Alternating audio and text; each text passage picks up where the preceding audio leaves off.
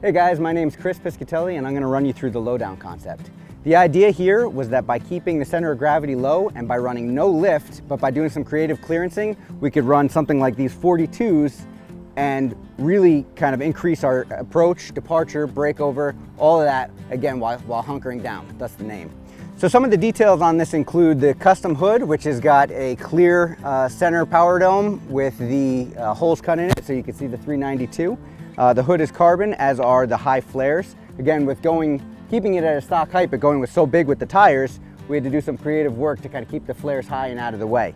The tires are uh, 42 inch Michelin crawlers with some 20 inch bead locks and the axles are Dana 60s front and rear.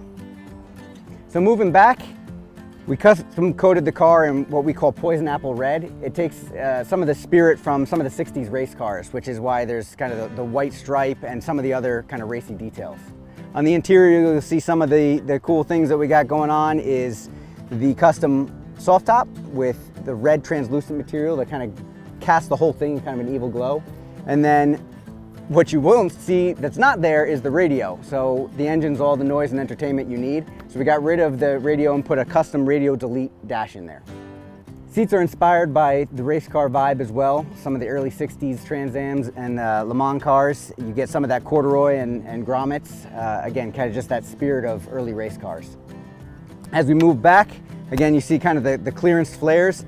For those of you familiar with Jeeps, we love LJs, and so we took the door handles off of the outside of this so that it kind of has that, that early kind of TJ, LJ uh, elongated feel to it. Let me show you some details around the back. I talked about approach and departure angle, so you can see that in both in the front and the back, we really kind of shortened up the bumpers, kind of these stubby steel bumpers with tow hooks.